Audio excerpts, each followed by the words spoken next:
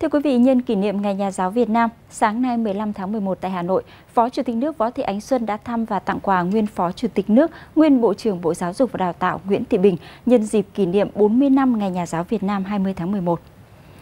Trân trọng gửi lời chúc mừng tới người quản lý giáo dục đã để lại nhiều dấu ấn tốt đẹp đối với Đảng, Nhà nước và nhân dân. Phó Chủ tịch nước Võ Thị Ánh Xuân khẳng định những đóng góp lớn lao của nguyên Phó Chủ tịch nước, nguyên Bộ trưởng Bộ Giáo dục và Đào tạo Nguyễn Thị Bình cho thành quả của sự nghiệp giáo dục và đào tạo nước nhà, góp phần để đội ngũ nhà giáo hôm nay thực hiện thành công sự nghiệp đổi mới căn bản, toàn diện và định hướng phát triển giáo dục mà Đảng, Nhà nước ta đang thực hiện.